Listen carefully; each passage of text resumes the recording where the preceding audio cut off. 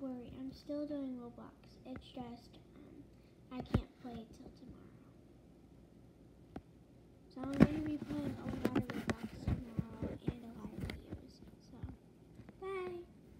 Hope you're having a fabulous day.